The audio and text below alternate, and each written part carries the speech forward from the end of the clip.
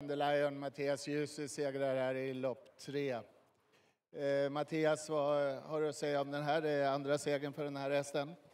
Nej, men hon är mer stark än snabb så det ja, gjorde inte så mycket att vi hamnade där vi hamnade. Vi fick köra tempot efter eget behag från dödens då, så ja, men hon avgjorde på bra sätt och svarade ärligt hela vägen så det var en fin insats. Så att det är mera stark än snabb. Ja, hon har lite problem med tekniken men det kommer ju allt, allt mer då, så på sikt kommer det bli bra. Ja, ja, men nu vann ju här utan, trots dålig teknik då. Ja, det finns lite fi- finslit men hon- stark är hon så det blir bättre hela tiden. Grattis! Tackar!